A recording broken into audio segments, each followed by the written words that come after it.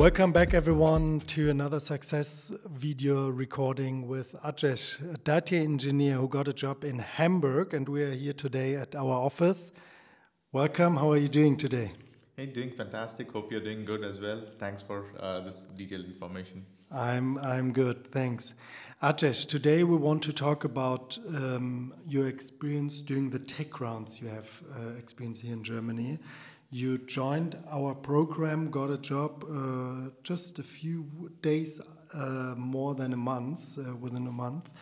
That means at the end you had around 15 interviews, I think, you, you went through. Uh, just actually before we started the recording, another company called him and offered him a contract, um, but he already signed with a very uh, a good company, very nice offer you got in Hamburg. So I think there's a lot of things you can share with the audience um, and share your experience, what a data engineer actually needs in order to crack the tech rounds. Um, what would be the first thing you see um, that a data engineer need to have in order to pass the tech rounds here in Germany? Um, I think uh, in the data world uh, right now, what I notice cloud plays a very important role. So as a data engineer, you need to be thorough with the cloud-based technology. Any cloud might be um, Azure, might be AWS, might be GCP. If, uh, if you have all three, that's great. If you have at least two, that's also good. Just to, to talk about your situation, you have worked with AWS and Azure and now got a job with Google uh, G- GCP, which you have never touched before, right? Correct, exactly. Okay, so that is possible. Get an understanding of different cloud yeah. Uh, providers. Yeah. And uh, secondly, I think SQL comes in with data engineering by default. So SQL and Python, uh, you have to be strong uh, with that. If not, uh, excellent proficiency with SQL is required, and a strong proficiency with uh, Python backend development is required. Um, and these three are good enough. Apart from that, if you have any other additional skills like working with Hadoop, big data technologies, that is a trend and uh, working with uh, Snowflake, which is a you know trending upcoming uh, data warehouse SaaS systems. So such such uh, implementations will help. Some Linux and Kubernetes can also guide you. Uh, but practically, predominantly, like I said, three three base technologies have to be SQL, Python, and cloud. Uh, expertise there would definitely help you, uh, you know, crack a job uh, in Germany. And and always prove that you have worked with that. Huh? Theoretical knowledge only will not get you in, into the market. Yeah. Um, okay. Yes. And then, um, what is it maybe more on the, the methods and uh, processes. I mean, start with building something from scratch.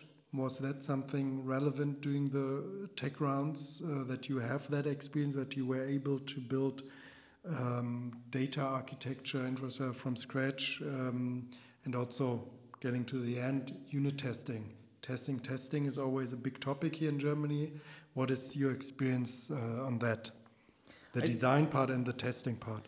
I think, uh, uh, I mean, I'm a full stack data engineer to be first, just to clarify, and uh, I'm not sure if everyone else would have had the same experience, but practically you would need to have understanding of the data architecture and then um, you know defining or processing the systems and creating all building all those uh, pipelines data pipelines etl pipelines and finally um, automated i mean like monitoring validation if that thing somebody has experiences with is good that that's what the unit testing is all about right you you validate it you keep your validation scripts always active to validate the data and additionally I would also suggest people who have good debugging experience because mm-hmm. with data comes data issues. I mean that's that's like bread and butter of a data engineer. You're not hired just to create a pipeline for yeah. once. You would have data issues, and a person who is very good with uh, data debugging and knows how to debug the data because it's going to be different every case. I mean, so far in the past six, seven years, what I've seen is it's not ever going to be the same as the last one that I've done. So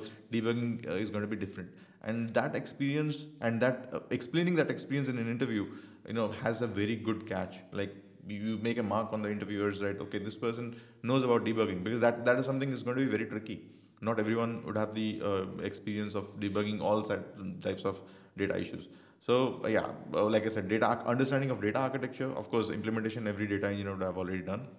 Then validation and automation of it, and monitoring strategies along with data debugging would, would hold the key, you know, to crack an interview. Yeah. Okay, and um, that are the insights you just shared that you got while doing uh, uh, around 10 to 15 interviews, tech rounds here in Germany.